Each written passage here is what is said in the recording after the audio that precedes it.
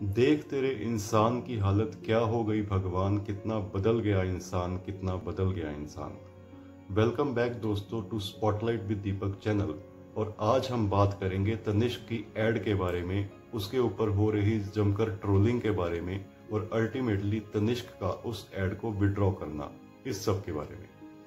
तो दोस्तों केस आप सबको पता ही है, तनिष्क ने एक नई एड निकाली है मार्केट में अपकमिंग फेस्टिवल सीज़न के देख के उस एड के ऊपर उन्होंने काफ़ी पैसा खर्च किया है, दिख रहा है उस एड में।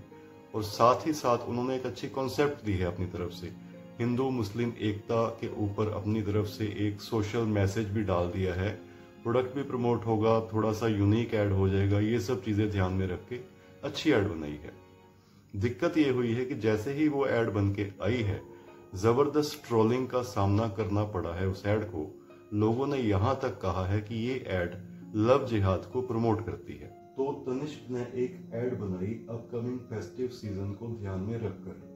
महँगी एड थी, अच्छी एड थी और सबसे खास बात, एक सोशल मैसेज के साथ थी।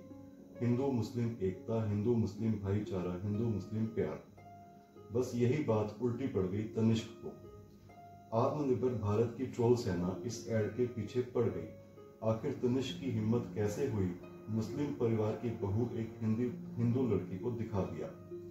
पाकिस्तान और चीन से भी बड़ा गुनाह तनिष्क ने कर दिया।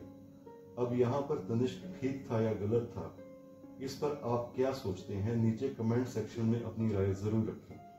तो खैर, तनिष्क ने भी बात बढ़ती देख ज़्यादा समय ना गवाते हुए अपनी इस एड को विड्रॉ कर लिया मतलब टीवी से हटा दिया। अब यहाँ पर लोगों की राय बटी हुई है। कुछ लोग कहते हैं कि ये ट्रोल सेना की जीत है, और कुछ कहते हैं कि एड को हटा के तनिष्क ने ट्रोलर्स के मुँह पर एक तमाचा मारा है।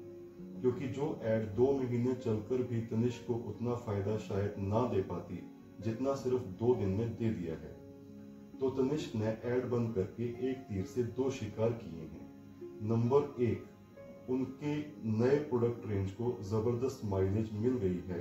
नंबर दो एड हटा के तनिष्क ने ये मैसेज भी दिया है कि वो विरोध में उठने वाली आवाजों की इज़्ज़त करते हैं और अपनी सामाजिक ज़िम्मेदारी स्वीकार करते हुए अपनी इस एड को हटा रहे हैं।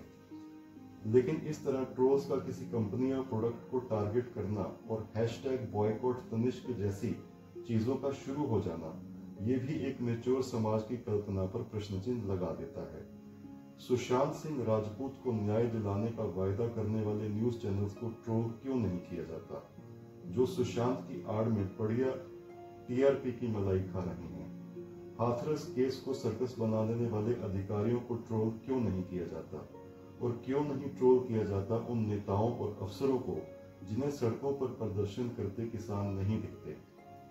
वैसे ट्रोलर्स को याद करा दूँ कि जिस दीपिका पादुकोणे को नशेड़ी कहकर ट्रोल किया गया था, उस दीपिका पादुकोणे की पद्मावत फ़िल्म की ज्वेलरी भी तनिष्क ने ही डिज़ाइन करी थी।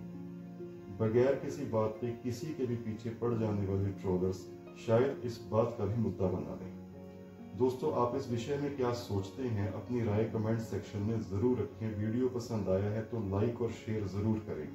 धन्यवाद दोस्तों।